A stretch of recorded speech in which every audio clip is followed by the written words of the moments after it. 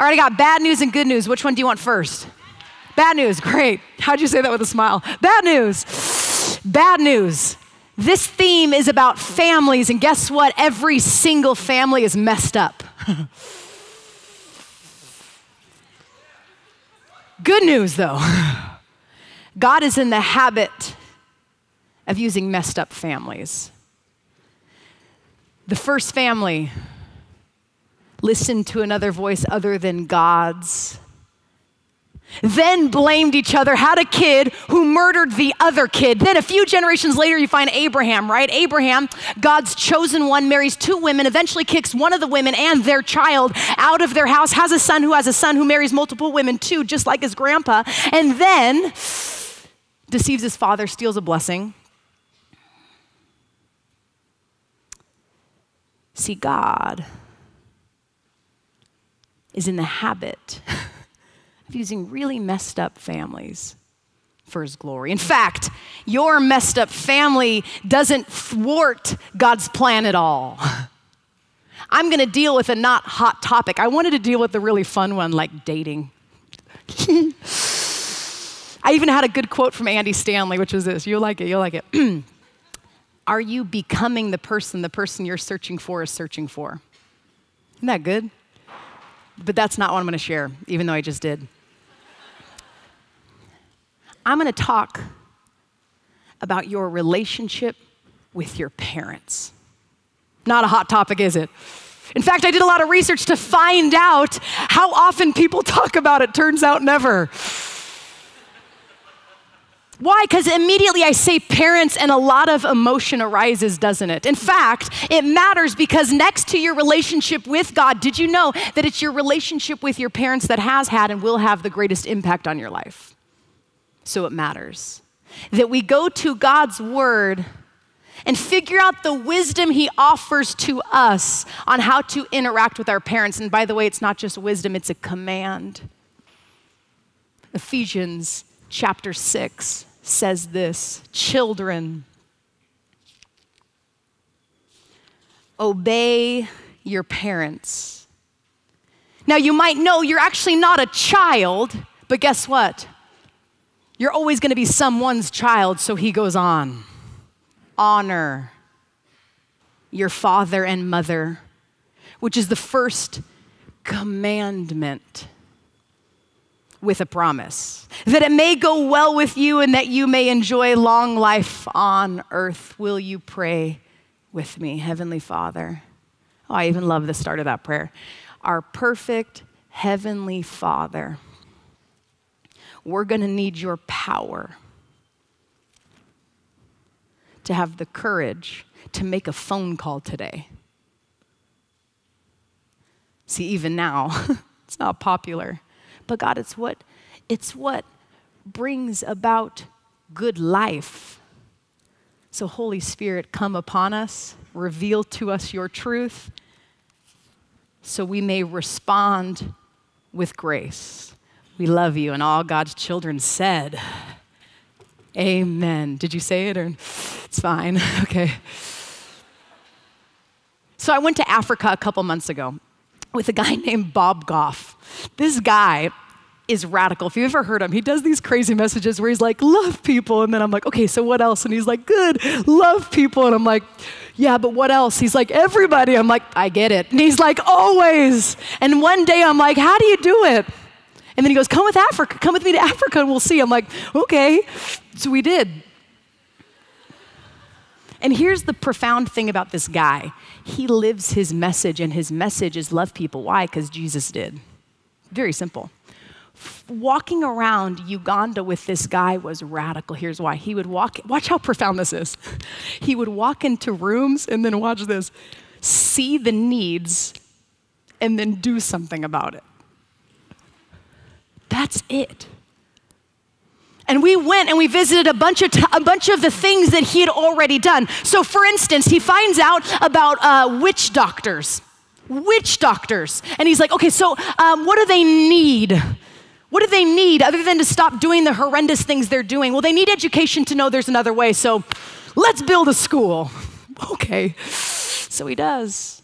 He walks into rooms. He walked into one room and there was, you know, this whole history of child soldiers or whatever had gone on in that country. And he goes, they just need education, so he builds a school. He finds out young girls are having ha- uh, terrible futures in front of them because men take advantage of them. And he goes, they need a safe home. So he goes to the local store and he just starts buying beds. And then he buys a place and then he puts the beds in the place and now it's safe.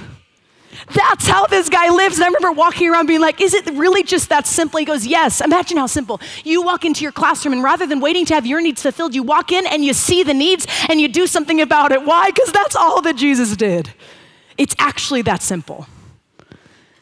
And then I remember we went to visited one of the schools that he had built a long time prior. And he goes, they need more books. So they got all these crazy donations, and then they were going to have this grand opening of the library while we were there. And we're like, this is so good. And I'm talking to Maria, his wife, and we're like, this is going to be so fun. We're just going to give away all these books. And she's like, and they'll bring them back. We're like, oh yeah, library. And then, and she goes, you know, it's so funny. We wanted to do something amazing for the grand opening. She goes, so I, you know, I got on my laptop and I started like Googling different, I'm like, weird typing, Maria. She's like, I know, it's weird. So she goes, I got on the computer and I was like, what else could we do? What more could we do? What other needs do they have? And they, she found this website called Eyes for Africa. And she's like, Of course that exists. Because someone saw that these kids, in order to read a book, some of them needed glasses. So she goes, she, she writes them an email and says, can you, just, can you just come alongside this great need that we have in our school? And this person's like, Sure. And they box over 400 pairs of glasses because there's 400 kids in the school. I got to be a part of the group that opened the box. And I remember Bob looked over and he's like, Let's just go give these away to all the kids. I'm like, Yeah. He's like, In 15 minutes. I'm like, What? I'm like, what's the plan? He's like, love people. I'm like, okay. So I remember we got, I remember we like organized all the glasses. I don't have glasses, but apparently there's numbers on them or something. Okay, so we're putting them in order of the numbers plus one, plus 17. So we're, you know, we're getting them all in order and some lady's like, I wear glasses. I'm like, great, you you figure out the number with the E pictured RT74 thing. Okay, and then you send them to us and we'll give them the glasses. And she's like, sounds good. So some girl just figured out the number. I remember the first kid walked over and he handed me a ticket. It said plus one. So I'm like, here you go. And this kid, it was so profound, took a pair, put it on, and we handed him a book, and he did this. And all of us are like, it worked. and then I'm like, okay, so here's, it gets even better. Choose a style. Here's the weird thing they didn't have that word translated. It's how interesting, style wasn't a priority. You know what I mean? So I'm like, I'm like, you know, like a, like a style. like, like, like I don't know why when I'm thinking of style, the first thing that comes to mind is this. I'm like, okay, okay, uh, here's what I need. Uh, Jojo, Jojo, come over here fast. So I'm like, here, here, uh, so this guy will just hold this mirror right here, and here's what we're gonna do. So we're, we're gonna give you a couple pairs, a little closer, a couple pairs of glasses, and you try them on, and then let us know which style works. And so, you know, they're doing different styles, and they're trying it on, and we're like, this is so good. Kid number two walks up, you're the mirror. Okay, and so kid number two takes the glasses, and we're all like, I know. We're like, go to the mirror, go to the mirror. Mind you, okay, so all the kids now are huddled around the mirror, huddled around the mirror. And we're all, you know, handing out the glasses. And it's just this surreal moment of meeting needs, right? But here's what got weird the mirror section started to get crowded. I mean, I literally watched kids like, they were like this.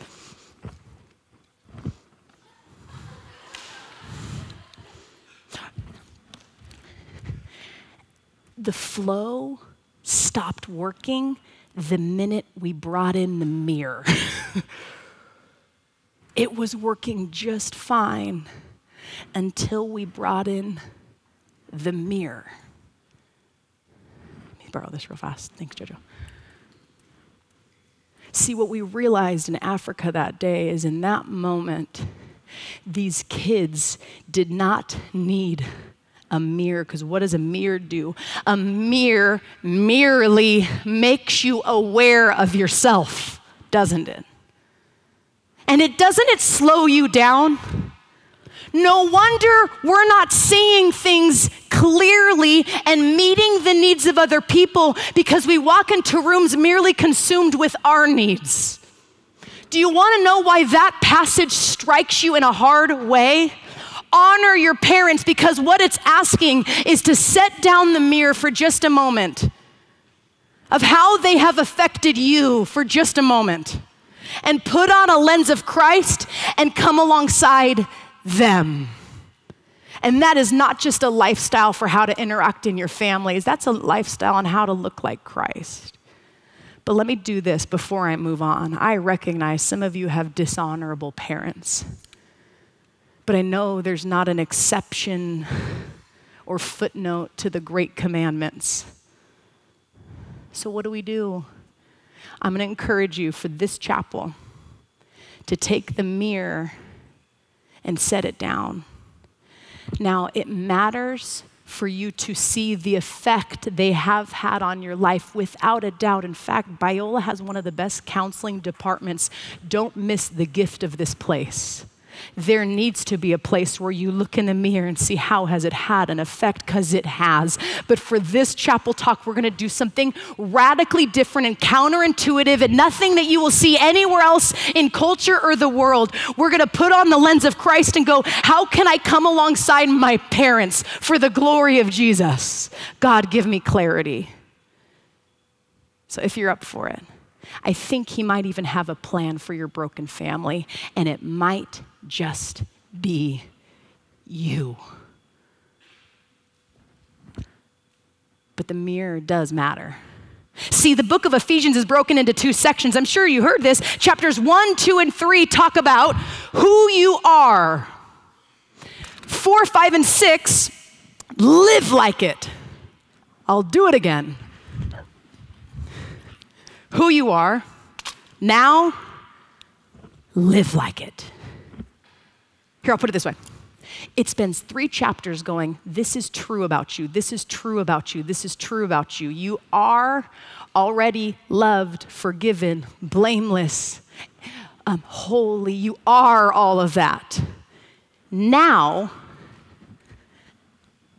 act like it and then it aligns with some of the commands. And you have to understand the context of the entire passage. Here's why because it always has to start with who you are before you get to how to live. And remember, Ephesians chapter 6 is on the second half, chapter 6. And this matters because otherwise our temptation will be to flip them and identify who we are based on what we do instead of who Christ was. Do you see that? So it says in Ephesians 1, 2, and 3 in Christ you are blameless. How? Look at your past. How does that make sense? I'll tell you how it makes sense. The wages of your sin, you know this, is death. Therefore, death was the one thing that you had to pay, the consequence for your sin. Jesus died on the cross, took your sin, right? But guess what? Jesus, fully God, fully man, lived this life perfectly. And something I didn't get till my late 20s, and I, gosh, I wish you could get this. Would you just receive this for a second? Yes, Jesus died on the cross for your sins. In his resurrection, he came back to life and offered you the gift of not just taking what you deserved, but offering you what he deserved. That's why Paul in Ephesians 1, 2, and 3 says, In Christ, not in and of yourself, look at your past, in Christ, you are blameless. In Christ, you are chosen, holy, and accepted. And why does that matter? Because then you won't be running to your parents to find those things. But when you start there and receive them from above, you are already accepted, you are already loved, you are already chosen. Chosen, by the way, quick note although there are accidental parents, there are never accidental children. Even though your parents may not have planned you, I promise you this God did. But when you receive from your Heavenly Father the truth about who you are, then you have the freedom to set down the mirror and to walk into holiday, put on the eyes of Christ, and meet the needs. And guess what? Your parents have the same needs you do. They just need a little grace, they just need to know their value. And they just need to be eventually taken care of. Three points. So, how do we honor our parents? Number one, we start just like Ephesians chapters 1, 2, and 3 in the same way. In order for us to act like Christ, we need to be reminded of who we are in Christ. Point number one how do you honor your parents? You remind them of their value. I know they weren't perfect, but start with an okay stuff. They may have been a horrible Christian, but give them a phone call and say, Thank you for being a Christian. Do you know what I mean? Start somewhere, remind them of their value. I know it sounds crazy. I'm gonna tell you an example of how I see this lived out in my own life. My husband has an unbelievable relationship with his parents, and I praise God, have an unbelievable relationship with mine. My husband, though, the number one way that he honors his father is this when he has a question, he doesn't Google search his questions, he just calls his dad. Ladies in the room, having car troubles, make a phone call to a parent. I know that sounds so simple, but I promise you this it reminds any parent, gosh, I am valuable. Your parents need the same thing you need. In Ephesians chapters 1, 2, and 3 gives us a formula. Remind them of their value. Then you get to Ephesians chapter 4, and in Ephesians chapter 4, it goes on to how to live like it. Remember, if they are valuable, how do you live like it? Ephesians chapter 4, verse 31 says this. This is where it gets hard. Ready? Get rid of all bitterness. Uh oh. How in the world? Great. Get rid of all bitterness, rage, and anger, brawling and slander, along with every form of malice. Be kind Here's another word compassionate. How can we be kind and compassionate to one another? Here's how forgive each other. Number one, remind them of their value. Number two, would you embrace forgiveness? Some of you, this sounds crazy, but I think the number one thing you need to do is forgive them. Because guess what? They need the precise thing you need, which is grace. This guy named Gary Chapman wrote this brilliant book on marriage. And he, in his book, he said this. I really liked it. Watch this. So good. Oh, I forgot the power, so it's there. Okay. Um, what if God's primary intent for your marriage isn't to make you happy, but holy? That's good. You know, do you know why that's good? Because it's this it means you don't go into everything critiquing everyone and everything based on how happy they make you. You recognize that God might want to even use their brokenness to form you more into his likeness. Whew. So I partnered up with Gary. He doesn't know my name, but uh, I changed it to this for this chapel talk. What if God's primary intent for your family isn't to make you happy, but holy? Mostly Gary Chapman, partially me. Take a second. How do you think God is planning to come alongside you to make you look more like Him by using your family? I'll ask it again. How do you think God is coming alongside you to make you look more like Christ, make you more holy, and plans to use them? Some of you need to make a phone call today.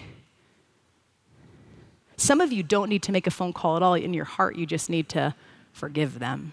And then, secondly, this is another big one. You may need to ask for forgiveness. And the reason I'm going to tell you that is I've experienced it firsthand.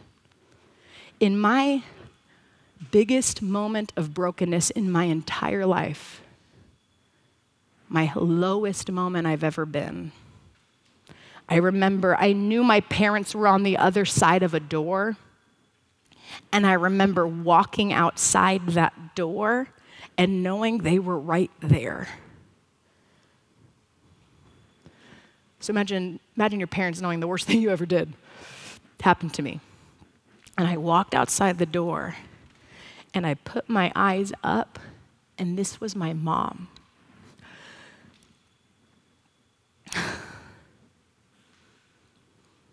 My friends, I looked and I'm like, Will you forgive me? And she's like, Come here. Come here.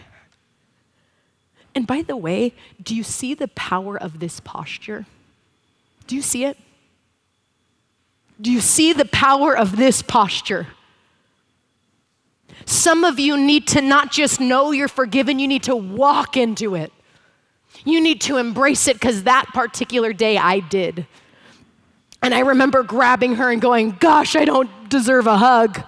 Gosh, I don't deserve it. And then my dad leaned in with this simple phrase Hey, Meg, there's nothing you could do that would make us love you any less. Why is it worth it to maybe ask for forgiveness as living proof? It was the taste of grace that I needed. And by the way, just a side note, my consequence for that terrible mistake from my university called Westmont, it's fine, was this. I had to go speak publicly about my bad choices to all the local high school students. My friends, I am a speaker because I found out I could speak because of my biggest failure. I speak for a living, and I only found out when I took my greatest weakness to discover my greatest strength, put it into His hands, experienced grace. And you want to know how God did it? Through my parents. Number one, remind them of their value. Number two, embrace forgiveness. Not sure which direction you need to go, but I invite you to go there with them. And lastly, number three, take care of them. I know that sounds crazy, and you might even think that's for later on in life. Well, in John chapter 9, verses 19, sorry, John chapter 9, verses 19, verses 26 and 27, it says this While Jesus hung on the cross. See, this Easter, my church went over the seven sayings that Jesus said from the cross, and the passage they gave me was this one John 19, 26 and 27, that says this When Jesus saw his mother there, this is speaking from the cross. When he saw his mom and the disciple whom he loved standing nearby, he said to her, Woman, here is your son. And to the disciple, here is now your mother. And I wrote this Jesus had a mom. And as a mom to a toddler, I know what it's like to have a kid. In fact, uh, her kid was different though. See, she never had to discipline. She never had to course correct. Timeouts weren't a thing. Her son, unlike my little toddler, was perfect. Remember Mary's Magnificat, her song upon realizing she would get to deliver God's only son. Her spirit rejoiced. She glorified the Lord. Her opportunity to become a mom had begun. Jesus was quite the kid, I'm sure. He always did what was right. Beyond right, he started performing miracles, healing blind people and giving sight. Yet why? Didn't he put up a fight? I'm sure his mom wondered at the foot of her son's cross. You see, Mary, I'm sure as a mom I can speak probably had quite a wide range of emotions anger, hate, sitting at the foot of her boy's cross. I bet she was a wreck. Her boy was being unjustly sentenced to death despite being perfect. I bet she wondered if there was any other way or why a cross her son would have to bear. And then on that cross, we read in John 19, in the midst of his crucifixion, he saw his mama there. He saw her before he died for her, he just saw her right where she was at. And I'm confident of this. He sees you too. You see, as if that's not enough, he did my point number three. He took care of her. How? Not just because on the cross he would provide her eternal gain, but also in the meantime, he considered her present pain. As a son of his age, he would be required to care for his mom, so he looked to his friend John. Jesus, who would become our substitute, needed a substitute to care for his mom. Oh, what a savior. Oh, what had to be done. But first to his mom, Woman, here is your son. Next to his friend, whom he loved like a brother, Hey, buddy, focus outward. I need you to care for my mother. Amidst Jesus' pain, he didn't forget theirs. And I'm confident that He sees your pain too. I know Jesus has much bigger things to do, but my friends at Biola this morning, would you never ever forget that on the cross, He considered you. See, Jesus was our perfect example, yes, of how to live, but also how to be a son. And the good news for us is number one, because he recognized your value. Number two, he embraced forgiveness on your behalf so that number three, he could take care of you for all of eternity. Let's look just like our Savior today. Make some phone calls and honor our parents. How? Look just like Jesus. Remind them of their value. Number two, embrace forgiveness. Why? So that number three, they too would be taken care of and God could be glorified as we look like Him. I don't know how God is calling you to respond, but would you? God is in the habit of using really messed up families for His glory. Welcome to being a part of His plan. Biola University prepares Christians to think biblically about everything from science to business to education and the arts. Learn more at biola.edu.